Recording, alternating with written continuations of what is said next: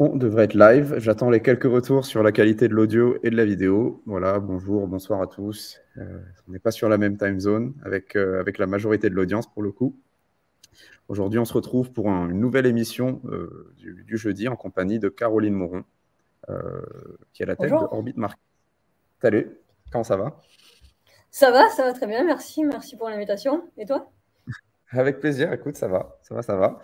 Euh, je vais attendre quelques instants, le temps que tout le monde se, puisse rejoindre le stream, euh, que la notification euh, se propage aux différents, voilà, aux abonnés de la chaîne et on va pouvoir attaquer cette émission. J'ai pas mal de questions à te poser. Je suis sûr que l'audience aussi se pose des questions sur ces, sur l'univers nébuleux des produits, des options, des, produits dérivés, des produits dérivés exotiques et consorts. Donc, on va attendre un tout petit peu et, et lancer ça. Super, ça marche.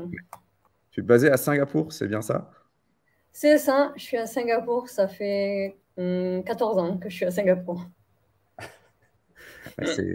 c'est assez dingue. On va, on va, on va, parler de, ton background en début d'émission, bien sûr, de comment tu en es arrivé à, être impliqué aussi dans, dans on va dire, l'univers des cryptos, de près ou de loin, euh, et, euh, et, plein d'autres choses. Donc, ça y est, je vois qu'il y a pas mal de messages on commence à avoir pas mal de gens connectés. Donc on va, euh, on va, pouvoir, euh, va pouvoir démarrer dans pas longtemps. Parti. Bon, bah c'est top. Ça y est. Bah, écoute, très cool. On démarre tout ça. Euh, première question, question classique hein, qu'on pose à tous les invités sur cette émission.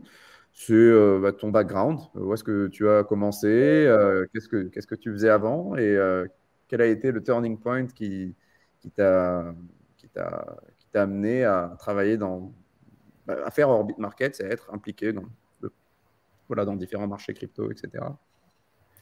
Ouais, donc euh, mon background, écoute, non, je, suis française, je suis du sud de la France, à côté de Toulouse. J'ai euh, j'ai fait mes études en France. Euh, quand j'ai fini les études, j'ai bougé à Londres pour bosser. J'y ai passé 4 ans.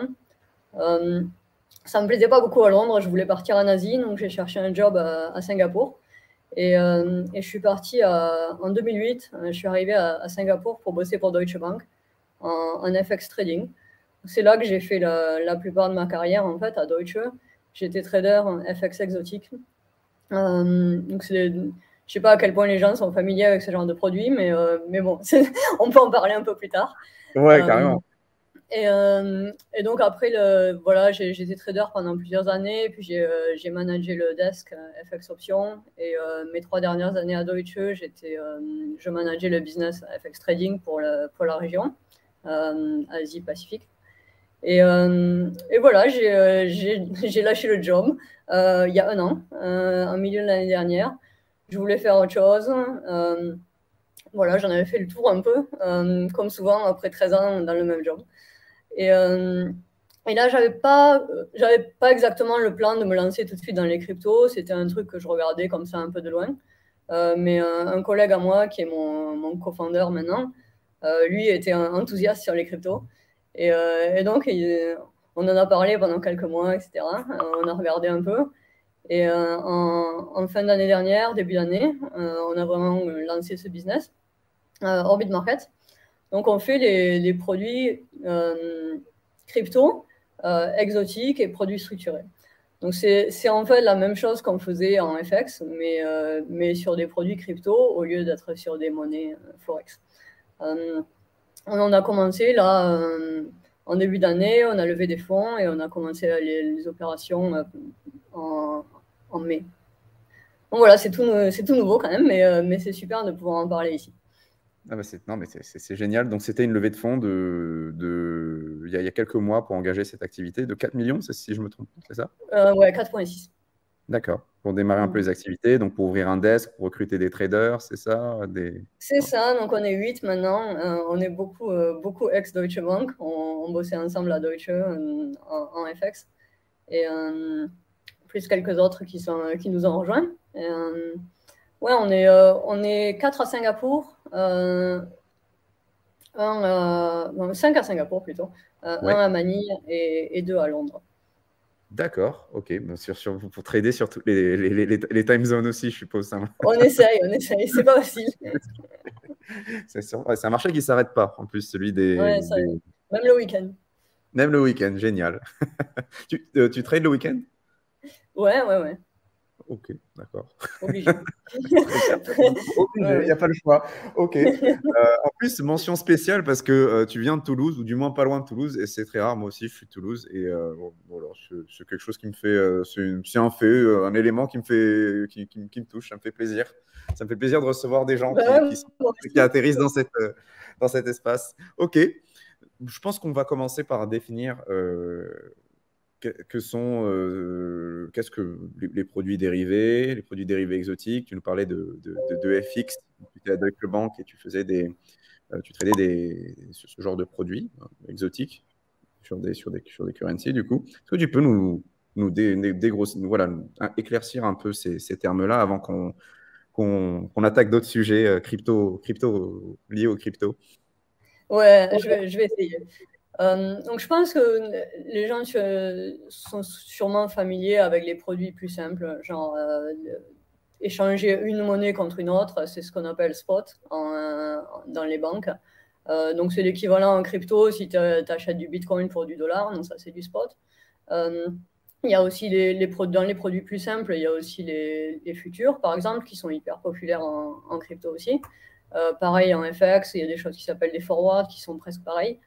Euh, et après, moi, ce que je faisais plutôt, c'était les options.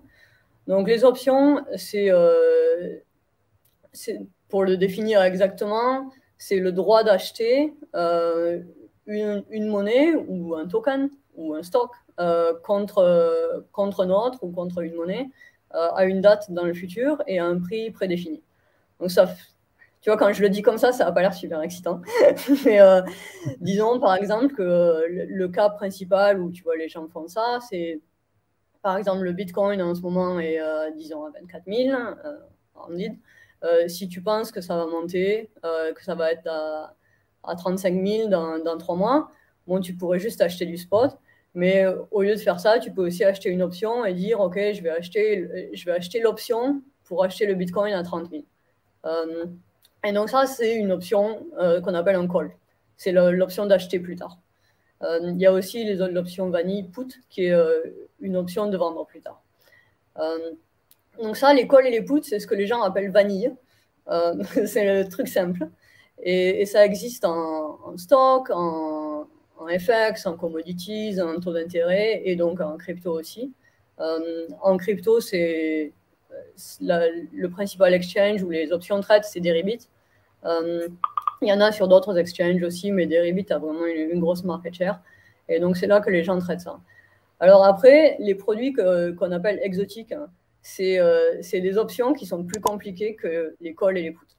Euh, alors pour, dire, pour donner un exemple, hein, disons assez simple, c'est par exemple, est-ce que, est-ce que tu penses que le Bitcoin va toucher 35 000 dans les trois prochains mois?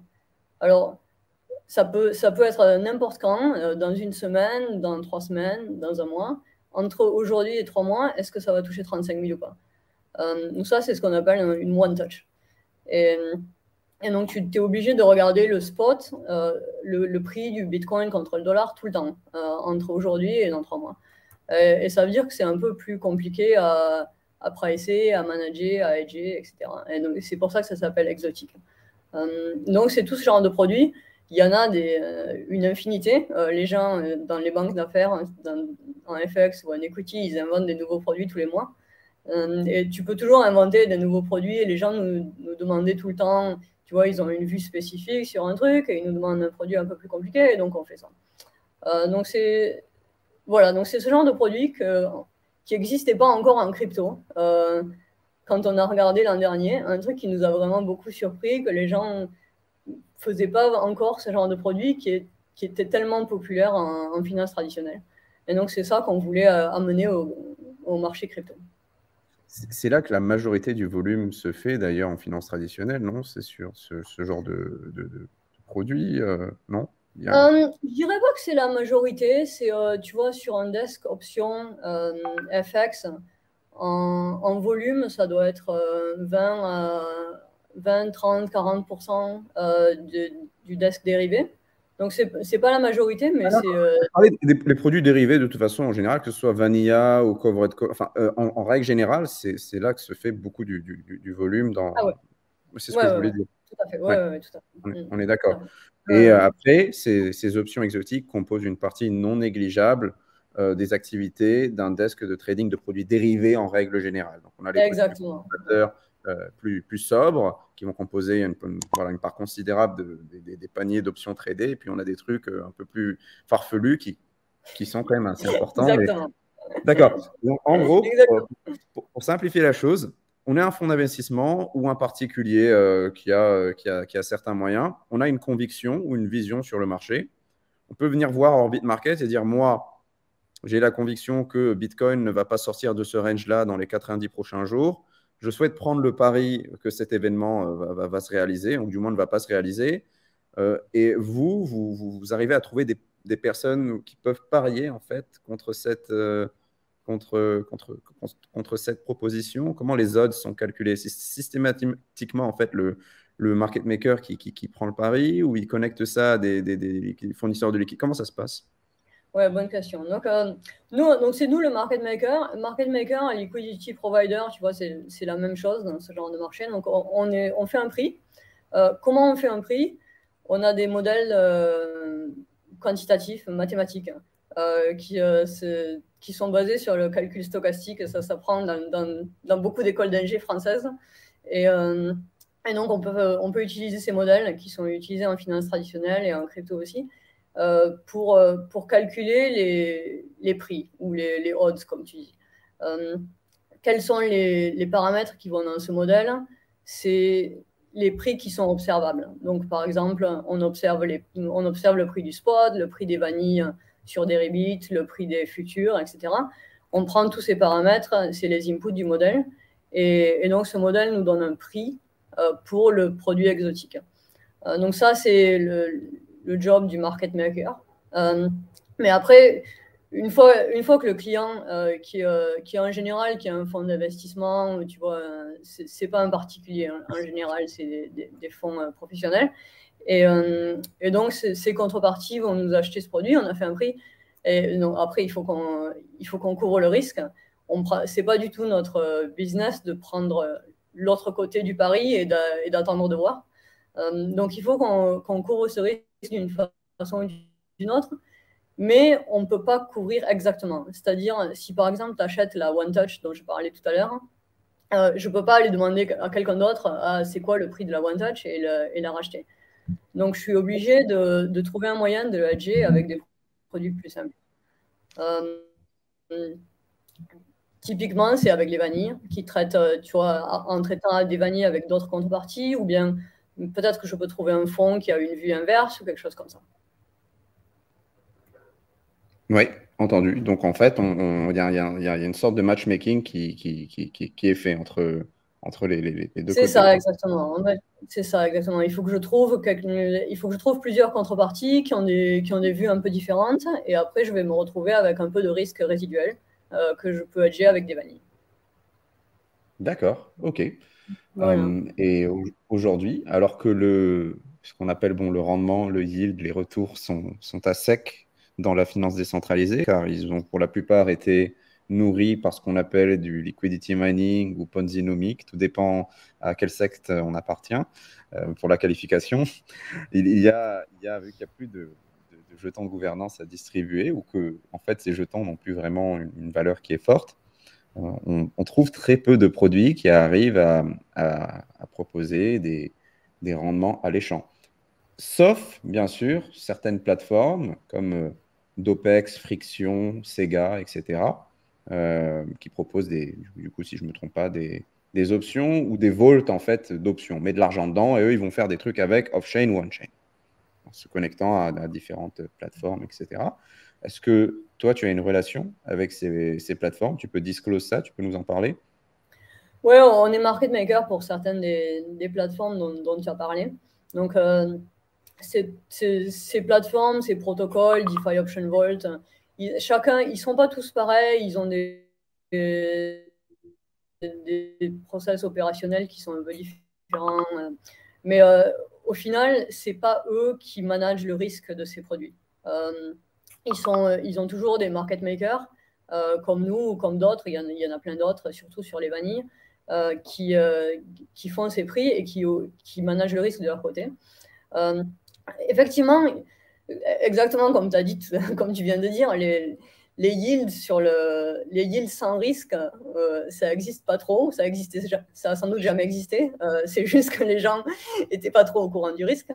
Euh, ça existait sur la lune. Ouais. le truc qui est clair avec, qui est plus clair, je dirais, avec les, les, les yields qui sont backés par les options, c'est que au moins le risque est assez transparent. En tout cas, si tu sais lire un payoff exotique. Euh, c'est-à-dire que c'est pas, tu vois, c'est pas caché. Euh, pour prendre l'exemple de Sega, euh, c'est un, un payoff où tu vas, tu vas perdre beaucoup d'argent si ça baisse énormément. Si tu vois, si, si un des tokens baisse plus de 50%, tu perds. Dans certaines ces volts, il faut que ça baisse plus de 90%. Donc c'est un événement. C'est pas un conseil en, Il ne s'agit pas de conseil financier. Ce live n'est pas, sponsorisé par Sega, donc je vais juste le, préciser. On peut continuer et apporter un peu de, visuel à, ce, que tu nous décris. Voilà, voilà les fameux price drop protection, etc. Tous ces éléments. Voilà. Donc, euh, par exemple, si je prends la, celle, euh, celle, qui est à 90%, donc évidemment, 90%, tu te dis, euh, super, mais, mais qu'est-ce il doit y avoir un truc, ça ne va pas venir pour rien. ouais, il y a un truc. Donc, pourquoi tu gagnes 90% de yield? C'est un échange du risque que si le, si le prix du Bitcoin ou ETH ou Solana baisse de 50% en un mois, tu vas perdre, tu vas perdre de l'argent. mais en général, euh, et d'ailleurs c'est pareil en crypto et en finance traditionnelle, euh, les investisseurs ont tendance à penser que le, risque de, de, baisser autant, 50% en un mois, c'est un mouvement extrême et c'est pas très probable. Et, euh, et, les modèles mathématiques hein, ont tendance à penser que c'est un peu plus probable que les gens ne pensent. Euh, ça ne veut pas dire que, qui a raison, les modèles ou les gens. Il faut attendre de voir. on ne sait jamais, c'est peu en moyenne. Mais euh, tu vois, souvent, il faut attendre 10 ans pour voir. Et euh, en crypto, on a à peine 10 ans d'historique. Mais voilà, c'est souvent le cas que les gens investissent dans des produits où ils, prennent le risque d'un événement qu'ils qui considèrent très improbable. et donc, contre ça, tu gagnes un yield, euh, qui dans ce cas-là, par exemple, était à 90%. Euh, c'est, euh, je pense que pour moi, en tout cas, peut-être parce que je comprends le produit et je suis, je suis plus familier avec ce produit, mais au moins, c'est clair quel risque tu prends. Comparé à, à d'autres protocoles qu'on voyait avant, où c'était pas très clair pourquoi tu gagnais 20% ou 40% de yield. Ouais. En gros, on est rémunéré pour le risque qu'on est prêt à accepter, tout simplement. C'est ça, exactement. Plus on prend du risque, plus le rendement potentiel est, fort. Et donc, il est quoté, j'ai l'impression, chaque semaine euh, chez Sega. Euh, donc, euh, chez Sega, ouais. la, plupart des, option vault, je pense, sont chaque semaine. Et j'ai l'impression que c'est un peu, ça prend en compte certains paramètres comme l'humeur du marché aussi, et certaines annonces qui peuvent potentiellement influer sur, voilà, affecter le prix, parce que on est quand même passé de 140% à 70% à 90% sur les deux dernières semaines, en fait, pour chaque. Euh, en fait, comme, je disais tout à l'heure, l'input principal de ces prix, c'est les, c'est ce qui est observable dans le marché.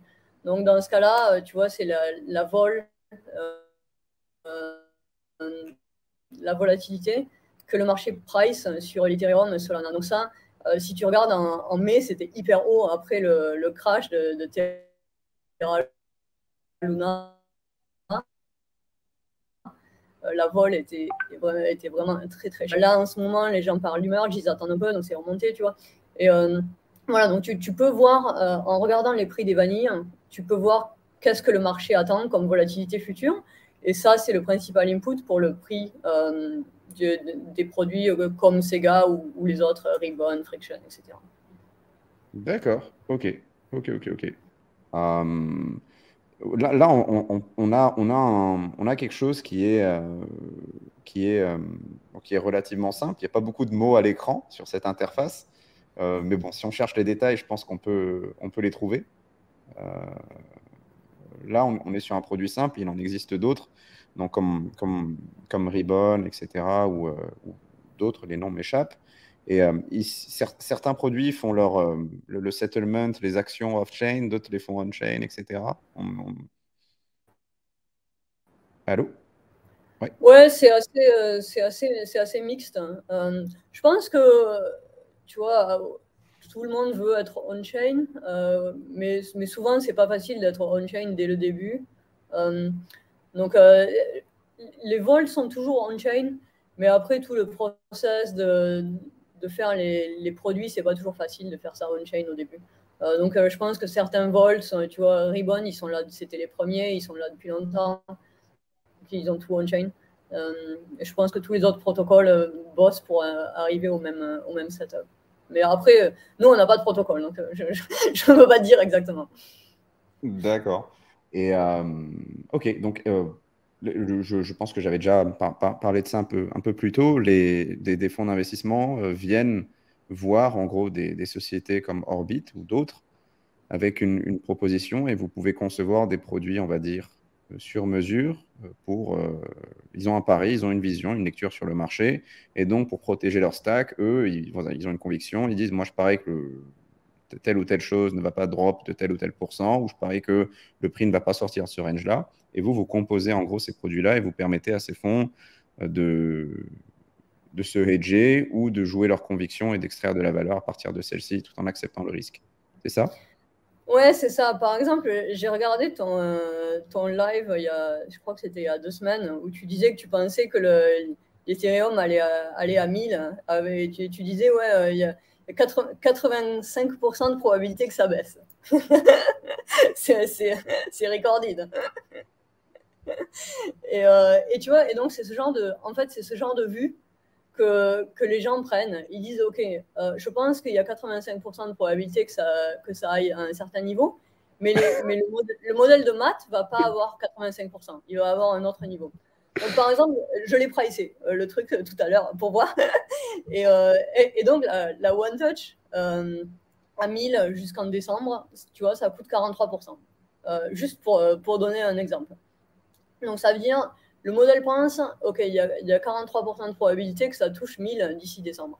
Donc si tu penses que tu vois, donc si tu penses que c'est 85, ça vaut le coup de, payer 43. Euh, donc c'est ce genre de, les gens ont ce genre de vue de dire, ok, je pense qu'il va se passer ça.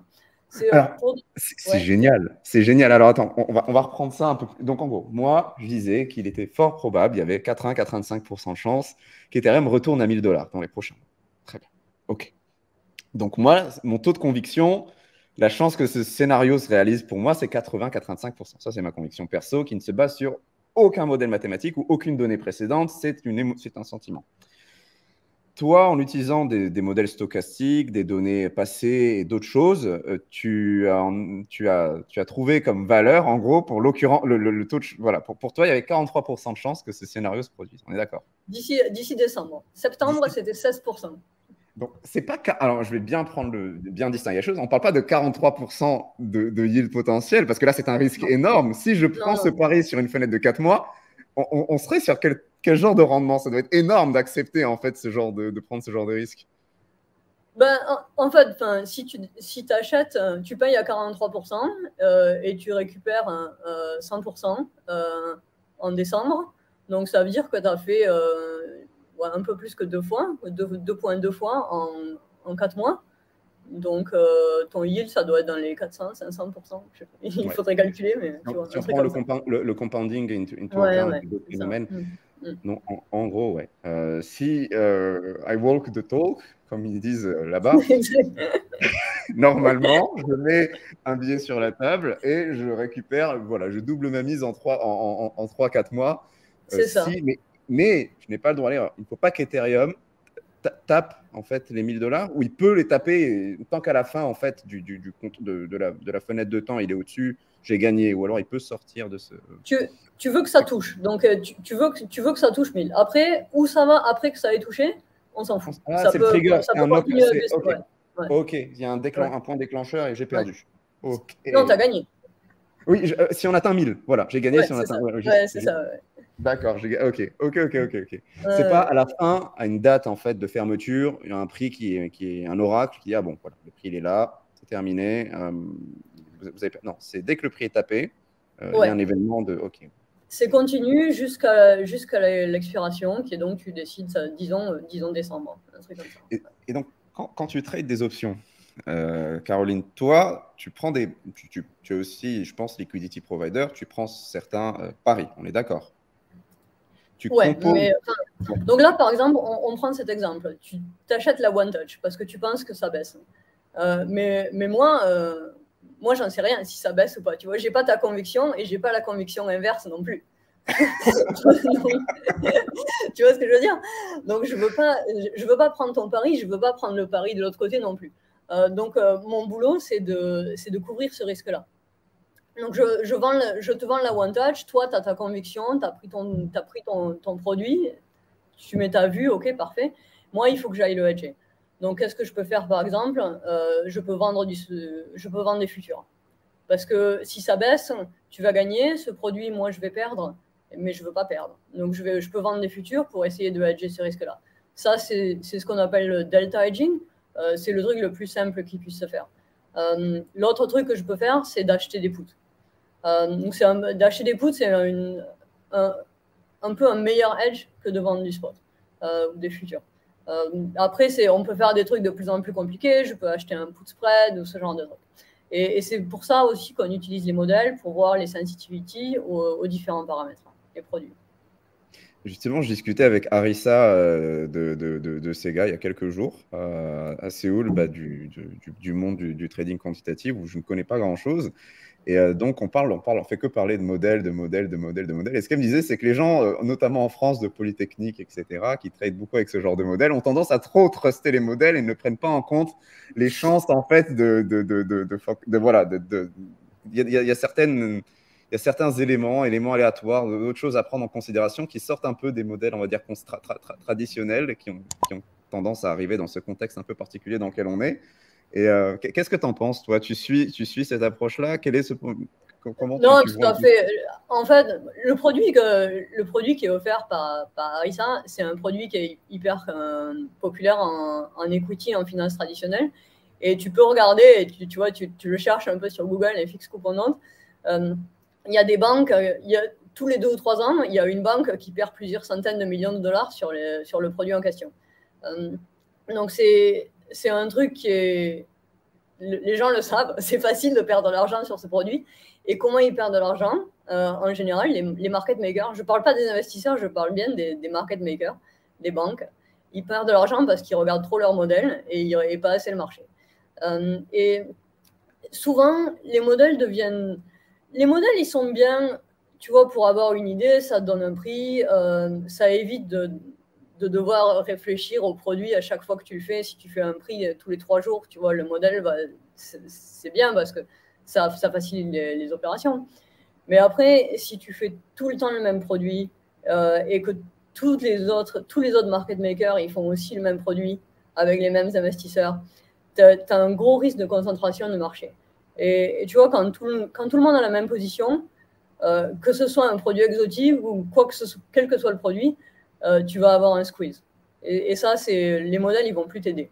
Quand, quand tu as une grosse concentration de risque comme ça, ça se passe souvent en finance traditionnelle et la crypto, c'est encore plus dangereux parce qu'il y a moins de liquidité, donc c'est encore plus possible de, perdre de l'argent comme ça sur une grosse concentration de risque. D'accord, ah, c'est super intéressant. Euh, entendu. Donc, euh, en, parlant euh, de, toutes ces, convictions, etc., un desk qui traite ce genre d'options ou autre, ce qu'il peut aussi chercher à faire, c'est euh, s'exposer à certaines choses qui ont un risque élevé et d'autres un risque un peu plus faible et avoir un risque moyen qui est, qui est, raisonnable. c'est souvent ça la méthode Ouais, les, gens, les gens ont des, stratégies différentes, tu vois, les, différentes contreparties avec qui on traite, les investisseurs. on, on, en voit qui ont, tu vois, ils ont déjà euh, leur propre stratégie et ils veulent euh, minimiser le risque. Alors souvent, ils vont acheter des options comme euh, protection contre leur, tu vois, sur leur position. Ils veulent, par exemple, ils ont peur d'un crash, alors ils vont acheter des puts ou ce genre de, produits.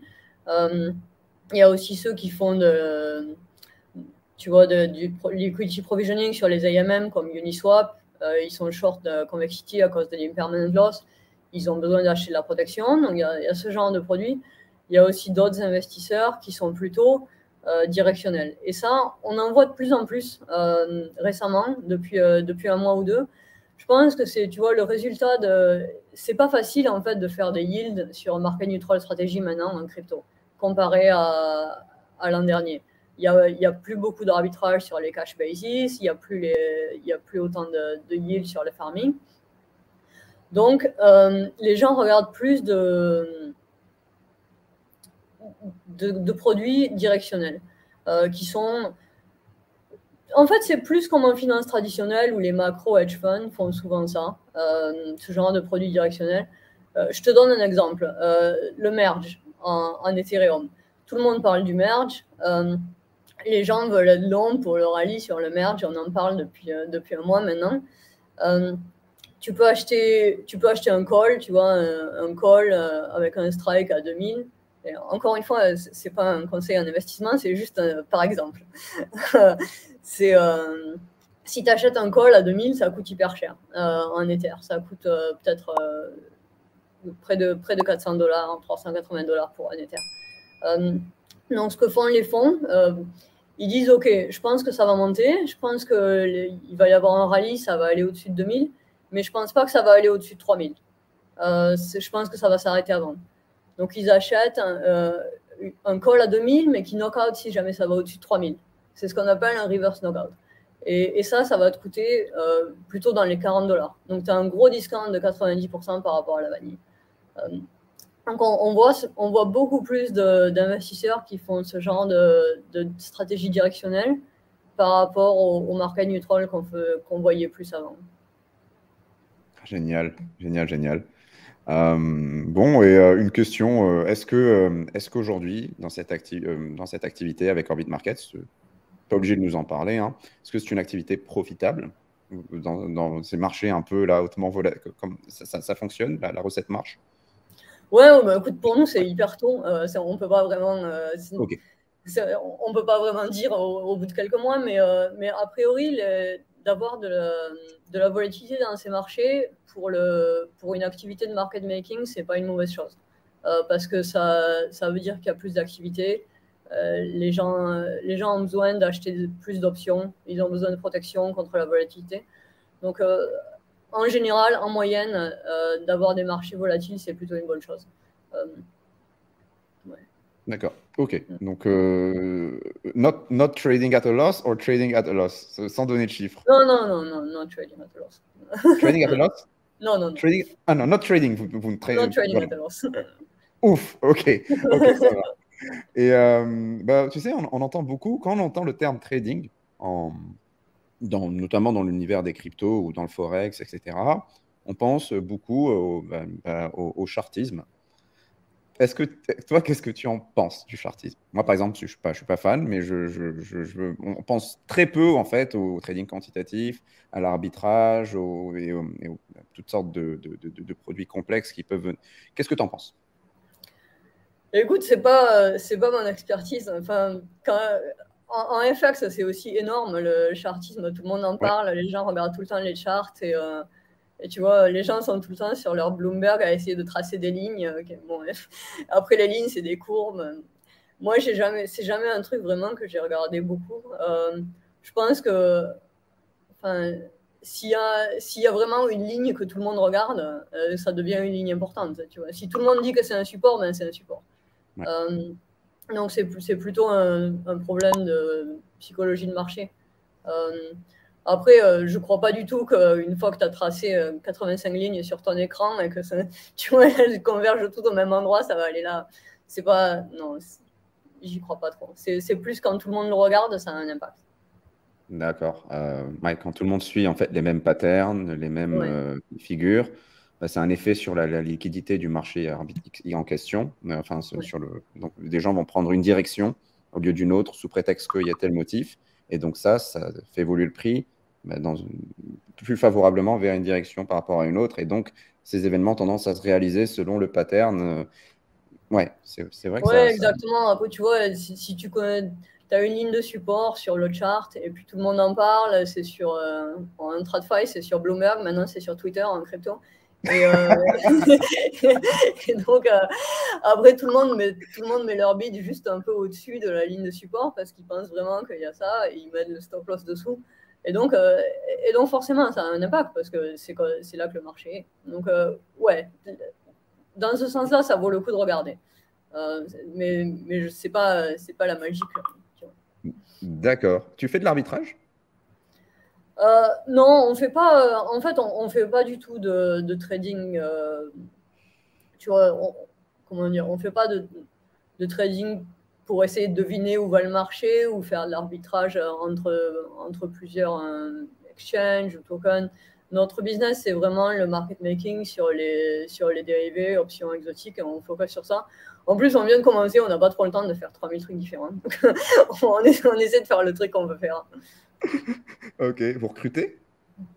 Euh, non, pas pour le moment. Euh, après, euh, enfin, on, est 8, on est content, là, ça va. on vient de, la dernière personne vient de nous rejoindre il y a deux semaines. Mais, mais tu vois, si quelqu'un est, intéressé, qui nous écoute, ils peuvent toujours nous contacter. Peut-être dans quelques mois, quand on a, quand, quand on a pas mal grossi, on peut, on peut regarder de nous. Quel type de profil pour un peu plus, spécifique, plus spécifique c'est plutôt, plutôt dev et, ou alors business development. Tu vois. Pour le moment, le business development, c'est les moi et, l'autre co-founder qui, qui, font ça. C'est le pire. mais peut-être qu'à un moment, on, on embauchera quelqu'un avec nous. Et sinon, peut-être dev aussi. Ça fait des années que je suis coincé comme ça, Caroline. je n'y arrive pas. Je dois toujours faire ça. non, non, mais ça, ça, ça, ça, marche dans plein, dans plein de cas de figure et j'espère qu'il bah, y aura des, candidatures euh, à la, bah, qui, matcheront. Euh, une autre question, on va, on, va, on, va, revenir sur les convictions. On ne parle pas toujours du produit de l'invité systématiquement, mais aussi de voilà, quelle est sa lecture sur le marché. En dehors des modèles mathématiques, est-ce que tu as des biais sur le, le, marché actuellement, des thèses, des technologies qui t'intéressent? Qu'est-ce que tu penses du merge? Euh, Quel est ton sentiment, euh, même macro Est-ce que tu peux nous partager un peu une vision? Si tu n'en as pas, c'est parfaitement OK. Et, again, not a financial advice, on discute. Ouais, écoute, euh, bon, c'est, euh, j'ai pas une grosse conviction euh, en ce moment. Le, merge, c'est hyper intéressant. c'est le plus gros event en crypto depuis, tu enfin, en crypto infrastructure depuis longtemps. Bon, c'est un truc qui est hyper intéressant. Comment ça va se passer avec les, les forks, les airdrops. C'est même pour le trading, tu vois, c'est assez intéressant. Les, les futurs en, en, Ether sont, sont, en backwardation parce que les gens attendent les airdrops. Euh, ça, c'est assez bien pricé, je pense, ça make sense. Euh, c'est pour la, pour la volatilité qui est plus notre, euh, notre expertise. Euh, on, on, aime bien ces, ces produits knockout où tu dis que tu penses que ça va monter, mais pas trop, tu vois, tu penses que ça va tu es, bullish Ether, tu penses que le merge va bien se passer, disons. Euh, il va pas y avoir de gros, de gros problèmes, euh, mais ça va pas non plus aller à 5000. Euh, on pense que si tu as cette conviction, les, les, produits knockout sont plutôt bien. Après, si tu es hyper bullish et tu penses que ça va, ça va à 5000, ben, super. Ce n'est pas ma conviction. Moi, je suis plutôt en général, je suis plutôt low conviction, tu vois, sur le marché directionnel. J'ai toujours tendance à penser que ça va rester par vers où c'est. Donc, euh, je ne pense pas non plus que ça va aller à 1000 comme toi. je ne sais pas si tu penses encore que ça va aller à 1000.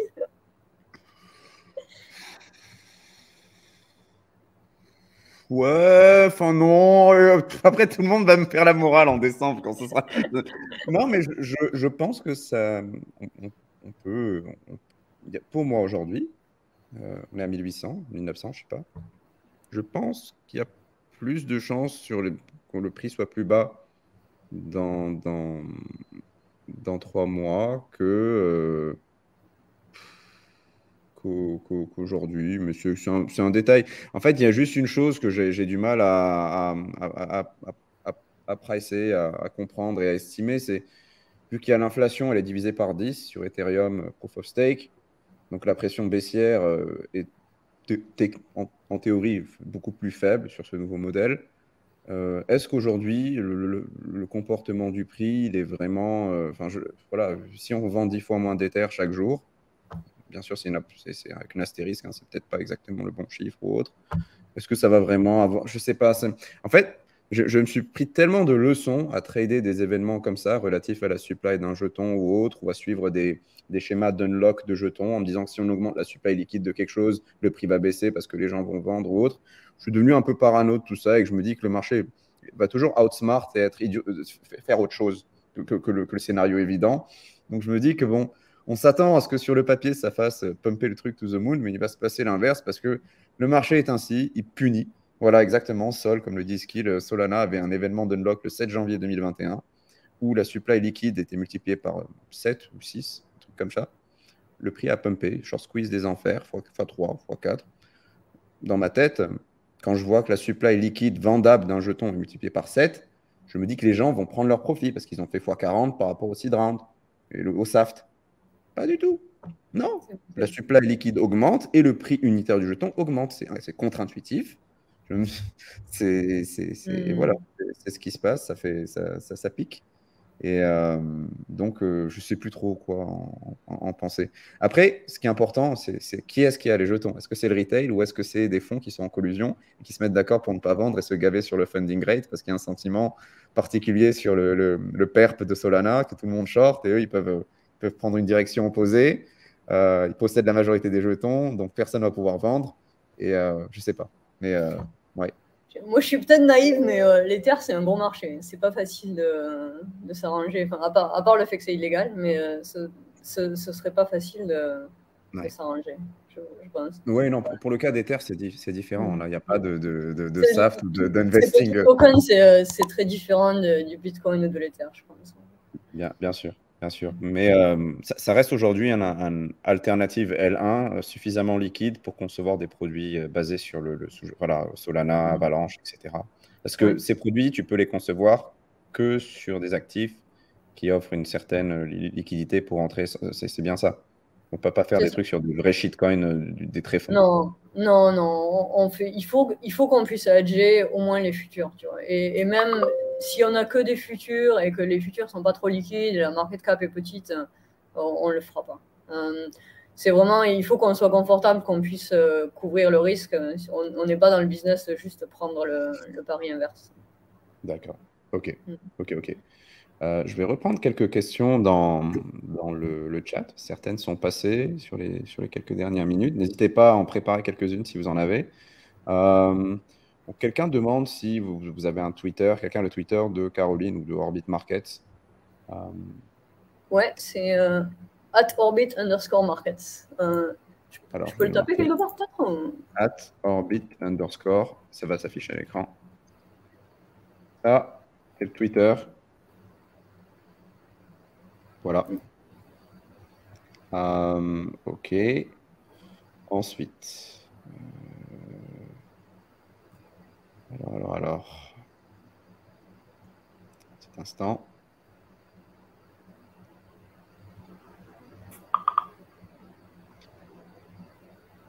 Je. bottom or not bottom? peux-tu nous représenter alors euh, peux-tu nous représenter l'invité pour les derniers arrivés? Oui, peut-être. Oui, c'est vrai qu'on est en, milieu d'émission, donc euh, je te laisse te présenter. Hein.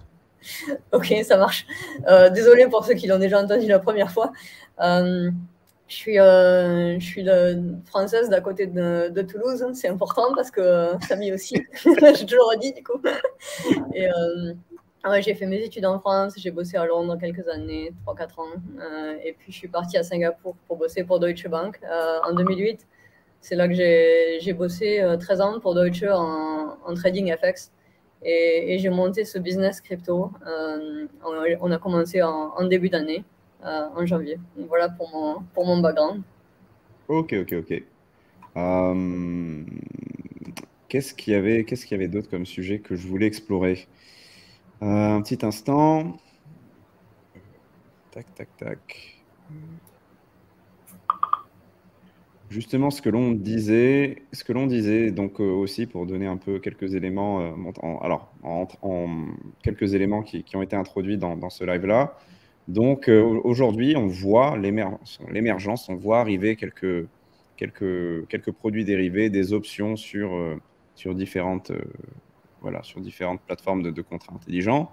Donc c'est c'est des produits qui, pour faire simple, permettent de, de, spéculer sur une évolution d'un marché X, Y ou Z. Et euh, selon l'ampleur du risque qu'on accepte de prendre, on peut extraire et récupérer un rendement qui est à la hauteur de ce dernier. C'est un peu ça, non? Ouais, ouais, c'est euh, une description générale. On peut, euh, je, vois, je vois que quelqu'un demande un peu, tu vois, les, les, où vont les, les DeFi Option Vault, puisqu'on en a parlé un peu tout à l'heure avec, avec ces gars. Et je pense qu'on peut, on peut peut-être en parler un peu plus euh, généralement. Il y a, en fait, il y, a, il y a beaucoup de, de, DeFi Option Vault. C'était vraiment Ribbon qui avait, qui avait commencé ça. C'était les premiers. Ils ont, euh, ils ont, ils ont beaucoup grossi euh, dès le début. Et ça, ça a un peu défini une nouvelle industrie. Tout le monde a essayé de créer leur propre DeFi Option Vault. Euh, pendant un moment, il y, a, il y a deux, trois mois, les gens nous contactaient. On avait une nouvelle DeFi Option Vault qui nous contactait toutes les semaines pour, pour voir si on, était, euh, si on pouvait les coter. Donc, c'est un truc qui a grossi pas mal. Mais euh, en fait, au, au début, les Ribbon, ils ont fait le produit qui était le, le plus simple, ce qui était logique, hein, qui, est, qui est juste de vendre une option. Voilà, donc tu vends, tu vends un call, un put, c'est un covered call parce que tu as ton investissement. Euh, euh, ça te donne des bons rendements. Euh, sauf si sauf si ça se passe pas bien et dans ce cas tu risques de perdre donc je pense que le, nouveau trend qu'on voit avec pas mal de, de DOV et, et, en particulier avec Ribbon qui, qui, ont lancé un nouveau produit juste hier ou avant-hier je crois qui s'appelle Ribbon Earn c'est d'essayer de faire des produits qui sont euh, un peu moins risqués, où tu risques pas tout en principal, euh, tout en notionnel. Et euh, tu n'as pas besoin juste de vendre une option, tu peux faire une option, tu peux faire un produit où il n'y a que le yield qui est à risque. Par exemple, peut-être que ton yield, ce sera soit 2%, soit 20%, en dépendant d'un payoff qui, qui, sera exotique un peu, mais tu ne peux pas perdre ton principal, en tout cas pas sur un risque de marché. Donc, contrairement, euh, voilà, si tu vends, euh, si tu investis dans l'option vault, euh, BTC call, disons, et, le BTC monte à 40 000, tu vas perdre beaucoup de notionnel. alors que là, les, nouveaux produits que les gens regardent, c'est ce qu'on appelle principal protecting, c'est-à-dire qu'il n'y a que le yield qui est à risque par rapport au, mouvement de marché. Je pense que ça, c'est un truc qui va être beaucoup plus intéressant pour les, pour les investisseurs euh, maintenant, surtout après avoir perdu dans le, dans le, crash de Luna et puis avec Celsius, etc. C'est un risque que les gens comprennent. Et, donc, ils sont. Euh, je pense que le Ribbon a lancé ce produit. Ils ont pas mal d'intérêt, j'imagine, de, leurs investisseurs euh, pour, pour faire des produits comme ça, Principal Protected. Et, on a eu des discussions avec d'autres option vault aussi qui veulent faire ce genre de trucs pour diversifier leurs produits. D'accord. Je pense que ça, ce sera un, nouveau trend, un, nouveau trend qui arrive sur les DeFi Option Vault. Parce que, euh, ouais, non. Ouais, je t'en prie. Ouais, non, j'allais juste euh, répondre à une des questions Ribbon Earn, mais je vois que tu l'as écrit. Oui, Ribbon Earn, à vos risques et périls. Voilà. Euh, les, les, ouais, c'est vrai que les gens sont en quête de yield. La plupart des plateformes de CeFi qui faisaient du rendement euh, en prenant des paris directionnels avec les fonds des dépositaires ou, des, ou des, en faisant des. En, ouais, en tradant. Euh, la plupart de ces plateformes ne sont pas solvables ou font défaut sur les retraits aujourd'hui. Et euh, aujourd'hui, on essaye de composer des nouveaux produits qui offrent du rendement, qui, qui, se basent du coup sur des options, des, des choses de ce genre-là. Mais on veut abstraire la complexité de, de, ces produits-là et créer des vaults où on dépose juste de l'argent. Ça, c'est un rendement. Et ce que tu décrivais, c'est qu'aujourd'hui, on cherche à avoir des, des, produits où ce que l'on dépose et le capital est protégé, mais c'est simplement ce que l'on gagne en, en, revenu qui peut être voilà notre rendement qui peut être compromis. C'est bien ça. Juste pour être clair, bon, encore une fois, c'est pas c'est pas un conseil d'investissement. Le capital, quand on dit capital protégé, en anglais, ils, disent principal protected, c'est un terme complètement standard en, finance traditionnelle. Ça ne veut pas dire que c'est protégé par le régulateur ou par le gouvernement. Euh, ça veut juste dire que ça ne dépend pas des mouvements de marché. Euh, donc le, fait que l'underlying, ça peut monter, ça peut baisser, tu récupères quand même ton, principal. Après, si la contrepartie fait défaut, tu le perds. donc c'est protégé des mouvements de marché. D'accord. Ok. Ok. Ok. Et euh, en parlant de comment, comment tu, tu, trades, etc., de ces fameux modèles, donc les, outils que tu utilises pour, euh, pour, trader euh, sont, particuliers. Vous écrivez des, algorithmes, les fameux modèles, je suppose, qui sont maison. Il y a des règles à respecter en général qui sont communes, mais il y a, il y a certains twists, ajustements que vous faites in-house. Comment ça se passe? Ouais, moi, c'est pas ces modèles, ils ont été inventés en, finance traditionnelle il y a quoi? Ça, ça a commencé, disons, euh, avec Black-Scholes il, il, y a plusieurs décennies. Euh, après, les, modèles qui sont utilisés pour les produits exotiques, ils ont été refined, tu vois, depuis. Je pense que ça n'a pas beaucoup bougé en, en, TradFi, ce genre de modèle, depuis 5-10 ans. Euh, donc, ces modèles, on, les connaît parce qu'on on bossait là-dedans. Euh, on ne les a pas réinventés de, zéro, tu vois, on, sait comment ça marche. Après, il y a certaines spécificités en, crypto où il faut faire attention, ou qui sont un peu plus difficiles. Euh, le, truc, le truc principal qui est difficile, je dirais, c'est que les, taux d'intérêt ne sont pas observables. Tu vois, en, finance traditionnelle, on sait où est le taux d'intérêt en dollars et en euros et en yens, mais euh, ou même, ou même en gold ou, en, silver, tu vois, il y a un marché pour ça.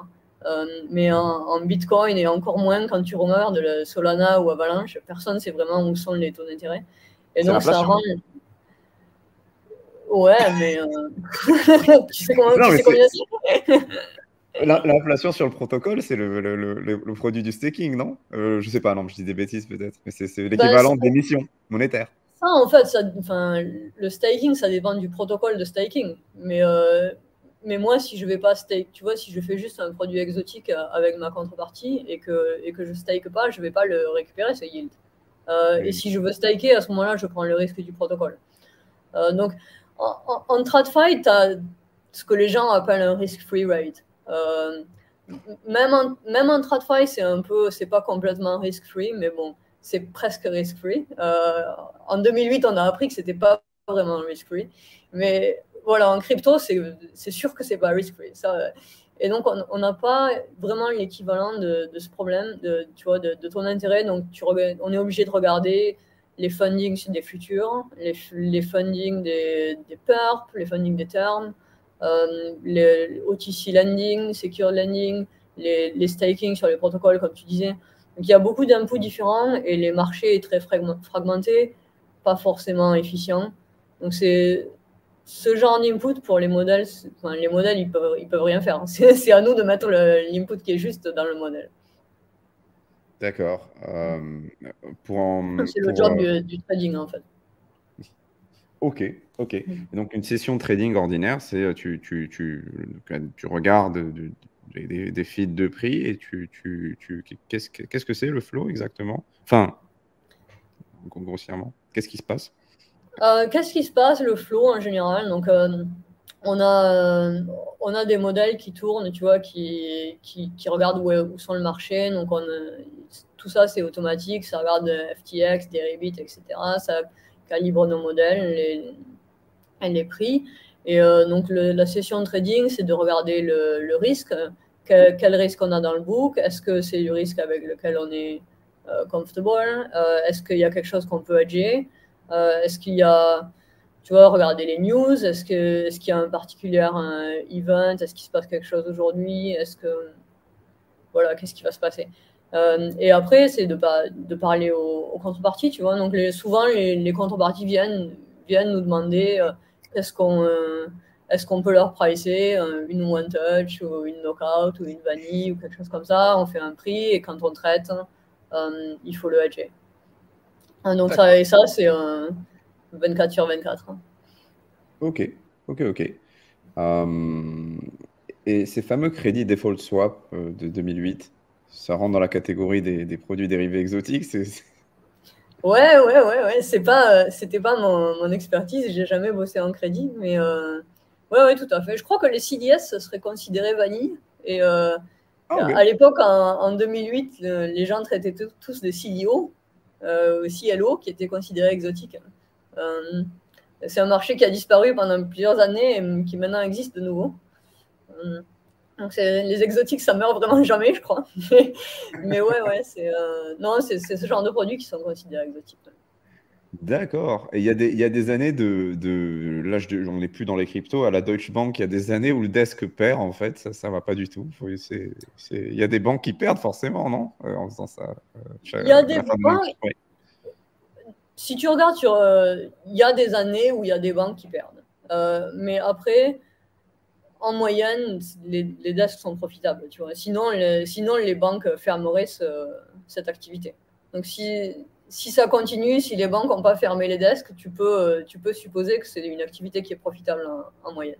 Euh, ouais, je ne sais pas exactement qu'est-ce que je peux partager de, de, Deutsche Bank, mais je ne crois pas que les, les, années où j'y ai bossé, je ne crois pas qu'il y ait eu une seule année où on a perdu de l'argent sur l'année. D'accord. Et tu qualifierais, vu que c'est des marchés un peu plus inefficients, les cryptos, etc., l'exercice quotidien plus simple dans les marchés euh, crypto euh, par rapport à ce que, ce que tu faisais en TradFi, la complexité de la tâche euh, au quotidien, est-ce qu'elle a, est-ce qu'elle change entre ces deux univers? Ouais, je dirais que je dirais que c'est plus intéressant, tu vois, enfin, surtout pour moi parce que j'avais fait le FX depuis longtemps et de regarder un nouveau marché, c'est beaucoup plus intéressant, excitant. Après, euh, non, tu vois, le marché crypto, c'est. Il y a, y a, plein de trucs à regarder et il se passe toujours quelque chose. Et, euh, Après, quand j'ai commencé le FX, je me disais ça aussi, il se passe toujours quelque chose et c'était vrai. C'est juste qu'au bout d'un moment, tu as l'impression que c'est toujours la même chose, alors que pour moi, en crypto, tout est nouveau. Et, un peu pour tout le monde parce que c'est un nouveau marché. Euh, donc, non, le, crypto, c'est vraiment un bon marché pour un, pour un trader. C'est volatile, il se passe des trucs, c'est intéressant. Il y a des choses, c'est only in crypto, hein, free arrows. Quoique, non, non, c'est juste que c'est une echo chamber, c'est plus petit la crypto. Donc quand ce genre de choses se passe, il y a beaucoup plus de, de, vacarme et on en, il, y a, quand même des trucs un peu. Euh, euh, des, ouais, il y, a, les hacks réguliers parce qu'on est sur euh, plein, plein, de choses comme ça. Il y a les, les, les, bilans falsifiés. Mais ça, c'est des trucs qui existent aussi en, en je me rappelle de cette boîte allemande qui avait 2 milliards de manquants dans son bilan annuel. Euh, Wirecard Wirecard, oui, du DAX. Wirecard. Hmm. Ouais, ça, ça, arrive. tu as, as, dû le voir chez Deutsche Bank, il y a eu de l'action, non Sur, euh, Vous avez une exposition à ça? Aucune idée, ça n'avait rien à voir avec moi. Aucune idée. Bien sûr, bien sûr, bien sûr. Non, mais en plus, c'est du spot. c'est okay. Non, je l'ai lu sur le, sur le FT comme tout le monde. Mais ouais, c'est euh, difficile à croire qu'ils avaient 2 milliards qu'ils n'avaient pas euh, et, que, et que tout le monde l'a raté. C'était une boîte listée et tout. Donc, ouais, après, que, quand tu compares Free Arrows à ça, qui était juste euh, finalement, tu ne savais pas l'exposition qu'avait Wirecard. Ouais. Euh, c'est-à-dire, ça n'avait pas l'exposition. Je, veux dire, euh, non, l'exposition, je veux dire, euh, ils n'étaient pas listés, tu vois, ils n'avaient pas besoin de, faire, de donner des financial statements publiquement tous les, quoi, tous les quarters, genre de Bien sûr, ils n'avaient pas ces obligations de transparence. non, c'était beaucoup plus rock'n'roll, mais c'était des montants. Ah, c'était des montants gros, ouais. c'est clair. Mm, ouais, ouais ça, le, ça, sacrée histoire. Que euh, qui était, ils tradaient le Forex en plus en 2012 chez Crédit oui, Suisse. ils avaient, ils avaient commencé en Forex. ils ont commencé comme toi, quand ils, sont, venus. ils étaient où en plus dans 10 ans. ils, étaient, ils étaient à Singapour. Ils étaient à Singapour, tout à fait. ah là là, ça c'est red flag. Hein. Écoute, euh, il y a beaucoup de gens à Singapour. Hein. Oui, bah, surtout, dans, cette, euh, dans cet univers, euh, bah, bah, dans tout ce qui est finance, etc.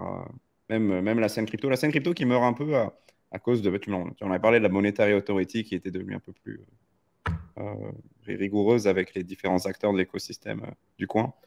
Écoute, je pense qu'ils font leur job. Hein. C'est, je crois pas si j'étais eux, je... si j'étais eux et que je regarde Free Arrows, je ferais ce qu'ils font, je pense. Ah, bien sûr, non, bien sûr, bien sûr, bien tout à fait compréhensible. Hein. Non, non, mais ils, ont retiré des, des droits d'exercer à des boîtes comme Coinbase ou autres parce que parce qu'il y avait des nouveaux frameworks, il fallait matcher avec de nouveaux standards, il fallait obtenir de nouvelles licences, etc. Donc il y a plein de trucs qui, qui ne pouvaient plus fonctionner à Singapour, qui ont dû partir parce que ça ne Enfin, j'avais lu des trucs comme ça, peut-être que je me, plante. Ouais, je pense que d'ailleurs, ils ont dit qu'il y avait plus de, plus de régulation qui arrivait bientôt pour l'investor investor protection et ce genre de trucs. tu vois, la, crypto, c'est un marché nouveau et euh, c'est normal qu'au début, parce que il y a, y a, beaucoup d'innovations, ça va très vite, hein, il n'y a pas beaucoup de règles et les régulateurs sont, tu vois, sont pas encore sûrs exactement comment traiter l'industrie, mais c'est tout à fait prévisible qu'il va y avoir de plus en plus de régulation et, l'industrie doit s'adapter. Ouais. Ouais, Moi, moi, je viens de TradFi, donc tu vois, les régulations, c'est normal. voilà, ça, un, ça, ça, peut, ça peut venir un, un, sacré débat parce que moi, je, pense qu'il y a. Ouais, ouais, non. Là, on va, on va tergiverser 20-30 minutes. C'est pas, pas en plus hyper intéressant. Mais. Euh, je ne sais pas si le régulateur ou le gouvernement est le mieux placé pour satisfaire l'intérêt public. Et peut-être qu'un marché qui se régule de façon autonome serait plus efficient et, plus, juste, plus intéressant. Après, c'est vrai que c'est toujours intéressant d'avoir des mécaniques pour, euh, pour protéger des monopoles et avoir une concurrence, on va dire, un peu plus, un peu lissée, intéressante. C'est vrai qu'il peut y avoir pas mal d'abus si le, truc. Euh, mais... C'est ça le problème, en fait, parce que tu vois, euh, ce qui s'est passé après, après Celsius et Free Arrows, plus personne fait confiance à personne, plus personne veut prêter à personne. C'est pas bon pour le marché, en fait. Si tu, si tu compares euh, finance traditionnelle, les, régulations, ça permet d'être sûr que les gens, d'être sûr ou presque sûr, euh, que les gens ont du capital et n'ont pas un trou de 2 milliards dans leur balance sheet. Donc, ça donne la confiance au marché, ça aide la liquidité. Donc, c'est un trade-off. Ouais, ouais c'est une, une, caractéristique clé. Il faut que les gens aient envie de prêter, il faut qu'il y ait ce sentiment de confiance, il faut qu'on ait cette habilité à se projeter pour que les affaires aillent bien. Si on a envie de garder son. Oui, non, c'est vrai que c'est un vrai problème. Non, moi, c'est plutôt la protection du consommateur que, que je vois comme le, plus gros scam euh, ever. C'est en gros, on part avec des assumptions que les gens sont demeurés et qu'il euh, faut leur interdire de. Au bout d'un moment, on devrait fonctionner avec des disclaimers, arrêter de prescrire ou interdire en fait des choses sous prétexte que c'est comme le truc du, enfin là c'est un peu hors sujet, mais le accredited investor aux US. En gros, si tu fais pas, si t'as pas un million de patrimoine ou euh, je sais plus de 100 000 euros euh, par an de d'income, de, capital income ou un truc comme ça, et tu peux pas investir dans certaines structures, dans certains. Mm. Tu peux juste aller te faire dumper à la gueule euh, sur, sur, sur des IPO des, des trucs. Voilà, tu n'as plus, plus d'upside. Ça, c'est ouais, c'est question politique, je pense, ou politique ou philosophique. Mais euh, c'est pas, c'est plus vraiment mon expertise. Euh, oui, bien sûr, bien sûr, bien sûr. Mais là, c'est le, le, PMU du coin. Hein. On, on, peut, on peut déborder. Euh, du... Il y, avait un sujet en particulier que tu voulais aussi couvrir, parce que je suis, je suis hôte de l'émission, mais parfois mon rôle me dépasse, je le transfère à l'invité. Hein. Moi, je ne sais plus. Euh. Non, écoute, euh, non, c'est cool de parler, de, te parler, tu vois, euh, de, parler des options. C'est bien, de, je vois sur tous les commentaires et tous les gens sont intéressés, donc pour ça, c'est cool. Et, non, j'ai pas, j'ai pas de, j'ai pas de sujet particulier. Je suis pas là pour faire le product pitch. En plus, c'est pas vraiment il n'y a pas grand chose à vendre vu que c'est pas un product retail oriented. Euh, exactement, exactement. C'est plus pour parler de, du marché C'est super intéressant. Et, tu sais, ça, ça se positionne, euh, ça tombe à un moment intéressant, euh, ce, ce stream-là, parce que demain, j'ai un podcast avec, avec Arissa. On va parler de Sega. Et euh, c'est intéressant parce que quand j'avais partagé les taux de, de, de, ces produits-là, la, première réaction, y compris la mienne il y a, un an quand j'étais tombé sur Ribbon et tout, mais c'est un scam, c'est pas possible, je n'ai pas fait l'effort de creuser, oh, ça marche pas, j'ai peur.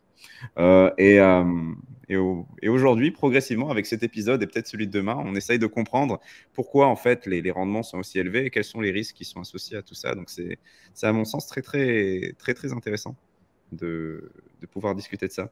C'est pas commun de. Ouais, c'est la première fois, je pense, qu'on a, qu'on a un invité francophone qui nous parle de ce genre de choses-là. Sinon, on avait eu euh, Sam de FTX ou Trabuco aussi, mais euh, en France, en français, c'est super cool de pouvoir le faire. Bah écoute, ouais, c'est cool. Bah, moi, j'ai pas trop l'habitude de, de, parler en français du business. En plus, j'ai toujours bossé à Londres ou à Singapour. Donc, c'est euh, cool de, de, parler en français aussi de, de notre activité. Ouais. Est-ce que, est que tu as des, des, des, des cryptos aussi? Est-ce que tu hold des cryptos Perso, euh, honnêtement, non. Euh, en ce moment, j'en ai pas. En fait, j'ai voilà, c'est assez busy avec la startup. j'ai pas trop, euh, tu vois, je suis surtout sur focus sur ça que, que sur mes investissements perso. Mais euh, ouais, mais par contre, bien sûr, euh, tu vois, dans, la, dans notre activité, as part of the trading, on a, on a bien sûr des, des cryptos dans le book. Ouais. oui, bien, bien sûr. des stablecoins, du BTC, des, des, des ETH, pour pouvoir, bien sûr. Ok, ok. Ah bah c'est... Bah oui, les, amis, je vois pas mal de questions sur euh, des, de type fond, enfin voilà, sur le fondamental, euh, sur les crypto-monnaies. Donc, euh, que pense Caroline de l'interchain security ou autre? Je pense qu'elle n'a pas pu regarder ça vu que tu te concentres essentiellement sur Orbit Markets. Donc, ouais, je suis désolé pour la personne qui demande sur l'interchain security. Je crois que j'ai pas d'avis. C'est super intéressant une voilà, bon, euh, je pense qu'on a un peu, on peut wrap up cette, cette première émission. C'était très cool. Moi, j'étais très content de te recevoir pour cette émission. Pour rester en contact aussi, parce que fait Orbit Markets, je pense que j'avais affiché à quelques instants le Twitter handle de, de Orbit Markets. Et euh, quand il y aura du nouveau sur les marchés, euh, une autre occasion de, faire le point dans, quelques mois ou de parler de derivatives. Moi, il faut aussi que je me forme un peu plus sur la question parce que je n'y connais absolument rien. Je viendrai armé de, nouvelles questions et j'essaierai d'en compiler quelques-unes de la communauté aussi. Voilà, c'était l'émission du jeudi. Si tu as quelque chose à rajouter, n'hésite pas. Non, merci, merci beaucoup pour l'invitation. C'était super de parler. Et euh, ouais, on reste en contact. Et et j'espère que vous continuez à parler d'options avec d'autres. Euh, que, le marché continue. que, le marché, que le marché continue. Voilà. Bah, merci à tous. Merci Caroline. Merci euh, bah, à tous les, tous les commentaires, les abonnés. Euh, voilà. Merci, merci à tous pour votre présence. Et je vous donne rendez-vous probablement ce week-end ou ce dimanche pour un stream pour faire un peu le tour de, de, de l'actualité et totalement off-topic on recherche encore, il reste une vacancy à Node Guardians. Si vous êtes une rockstar de Kubernetes, Site Reliability Engineer, DevOps, euh, écrivez-nous à jobs at Node Guardians. Euh, bien sûr, il faut parler anglais s'il vous plaît. Et idéalement, si vous êtes québécois, c'est la cerise sur le gâteau. Voilà. Ah enfin, canadien ou basé en Amérique du Nord, c'est parfait. Pour faire les shifts sur l'infrastructure, ce serait génial. Voilà. On, a encore un, un poste disponible. Merci beaucoup. À très vite.